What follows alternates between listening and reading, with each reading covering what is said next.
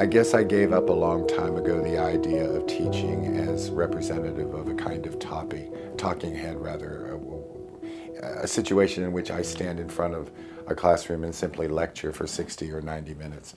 And that kind of instructivist model, I, I think fortunately has gone by the wayside for a lot of people who teach full time. Um, um, because it's so much more than that. So it's the dialogue and the exchange that really kind of keeps me going.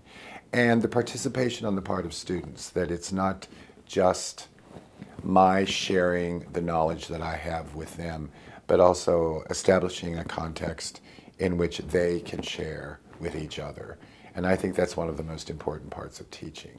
Um, students are perfectly capable of helping and assisting in, in peer teaching.